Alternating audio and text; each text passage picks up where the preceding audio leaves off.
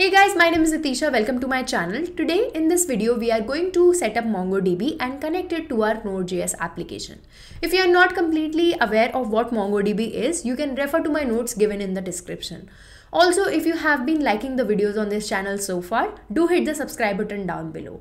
So without any further delay, let's get started. But wait, there are three types of environments in which you can run MongoDB. MongoDB Atlas, MongoDB Enterprise and MongoDB Community. And for this video, we are going to use MongoDB Atlas. So I will search for MongoDB here and I will sign up for an account on MongoDB. So here I would click on try for free and here I will sign up with Google. You can also create an account for that. Okay, I will accept to the privacy policy and terms of service and click on submit. Okay, it will take some time to uh, set up, so that's fine. So yeah, we need to fill in some information in here. So it's asking for what is your primary goal, maybe learn MongoDB, that's fine. How long have you been developing software with MongoDB? So if you're new, you can click on new to MongoDB. What programming language are you primarily building on MongoDB with? So we'll be using Node. I will write JavaScript slash Node.js and what kind of data will your project use? We are not sure what type of data we are going to use. So I'll click on not sure or none. And will your application include any of the following architectural model? So I will write on not sure for this as well. And I will click on this finish. Okay, so here we can see that we have uh, options where we can deploy our database like M10 serverless, M0. So for now, we'll be deploying it on M0 as it is free.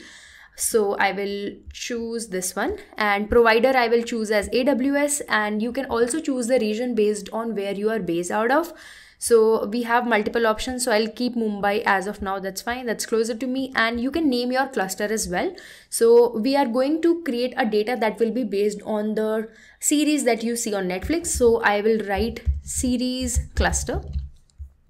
And if you want to give any tags that you can give as well, and I will click on create. Okay, you can see that it is created. We need to pass in some information in here like username, password, so uh, I will keep my username as Etisha Garg and password. For now since this is just for testing purpose I am showing my password in here. So let's say I will uh, keep the password as Etisha Garg password. I would highly recommend you to not share this password with anyone and I click on create user. Now it's also asking that from which IP address we are going to connect to this database. If you want only uh, specific IP addresses to access this database you can specify it here. Current ip address has already been added and apart from that i'm also going to add this ip address. So what this ip address says is i will accept the connection request from any ip address be it whatever. Uh, this is just for testing purpose and once we are done with our testing uh, when you move to the production I would highly recommend you to remove this IP address from here and I will add this entry as well just to avoid any errors that might come in.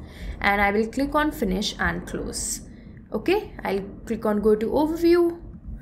So we can see that our MongoDB is set up now it's time to connect it to our Node.js application so for that I will click on this connect and you can click on this mongodb for visual studio code because we are going to use visual studio code in here in order to connect to our mongodb deployment we have to paste this connection string into our into the command palette. So our MongoDB Atlas setup is done. It's now time to connect it to our Node.js application. But before that, let's first understand how data gets stored in MongoDB. So in MongoDB, the data gets stored in a collection. Just like how we store the data in tables in SQL databases, we store the data in collection in a NoSQL database like MongoDB. Within this collection, we have several documents wherein a document is nothing but an individual record. Now let's see what the process is. So first, we establish a connection to our MongoDB database. And then the next step, we define a schema. So defining a schema meaning we define a blueprint of the documents or the records that we are going to store in our collection. They will contain the information related to the objects that are going to get stored into the document like uh, what is the type, does it need to be unique, whether it is mandatory or not and things like that that we are going to see later. Then in step 3, we will be using that schema to create a model. So model is nothing but a tool that helps us to interact with the MongoDB collections. And with this model only, we would be able to perform actions like create, read, update, and delete in order to make modifications to our document in the collection.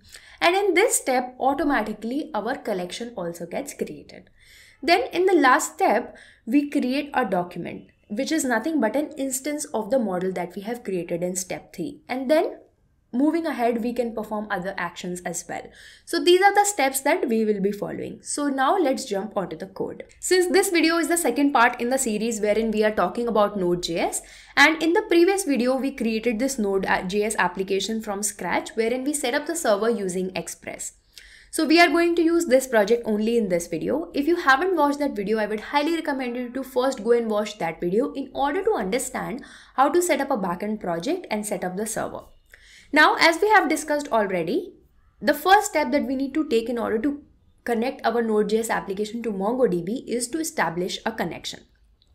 And whatever steps that are there, be it establishing a connection, uh, creating a schema, defining a model, etc. For that, we'll be using Mongoose. So first, we are going to go to our server folder and I will do an npm install mongoose. And once this is installed, we would be able to see this in our package.json file. So yeah, it is there. Now for establishing the connection, we'll create, we'll create a separate file for it. So let me create a folder. Let's call it utils and I will create a db.js file inside it. Now the first thing inside it that we need to do is to import mongoose. So I will write const mongoose equal require mongoose. After this, I'm going to create a function for it. So I'll call it connect db and it's going to be an asynchronous function. And inside it, we are going to write a try catch statement. We are writing this try catch statement in order to catch any error if there are any uh, while establishing the connection. And in case of error, we'll log on the console the error dot message. Now in the try statement, we'll be using the method called, called as mongoose.connect for connecting to our database. So I will write await mongoose.connect and inside this we need to specify our MongoDB link or MongoDB Atlas link that we uh, generated when we were setting up MongoDB. So let's copy that from there. So this is the connection string that we require. So I'm going to copy this and paste it inside this. So this connection string needs to be kept as secret. So it's a good practice to keep this in your .env file rather than keeping it directly in your project files. Uh, but since we are just doing it for learning purposes, I have directly kept it here. Now instead of this password, you need to put the password that you had created when we were setting up MongoDB. Since you know my password, so it was Etisha Garg password. Now if it works perfectly fine, I am going to log on the console that MongoDB is connected. Also, we need to export this so that we are able to use it in our server.js file. So I'm going to export this particular function. Now let's go back to our server.js file and import this function that we have just created. So I will write const connect db and it is saved in our utils folder so i will search for that i'm going to call this function so that our database gets generated before we start working on our apis so we'll call this and save it now let's run our server and see if it is working fine so i will write npm run dev and hit on enter. So you can see that here we are getting this message that MongoDB is connected and server started on port 8000. So we have been successfully able to establish the connection. Now, in the next step, what we are going to do is we are going to define a schema and create a model. So for that, again, we are going to create a separate folder of, uh, for it. Let's call it models and we'll create a file called as series model.js. Since I have told already also that uh, we are going to create a collection of the TV series that are there on Netflix. So that's why I'm calling it series model. Now for uh, again creating the model, we would require Mongoose. We will first create the schema. So let's call it series schema and I will use mongoose dot schema method and inside it we need to specify what all properties are going to be there of the documents or the records that are going to be there in our series uh, collection so first is going to be the name of the series So first we need to specify the type of it. So the type of the name is going to be string. Also, uh, we can specify whether this particular property that is name is mandatory or not. It's advisable to keep at least one or two variables as mandatory. So I will write this required as true.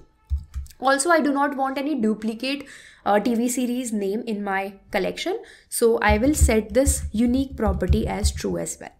If you want to explore more properties that are there in this mongoose.schema, uh, I would drop the link of the mongoose documentation in the description down below. You can refer to that. Now the second property that is going it is going to have is the description. And again its type is going to be string. I will not make it mandatory. Then we are going to have the rating and its type is going to be say number and similarly we are going to have this called as year of release.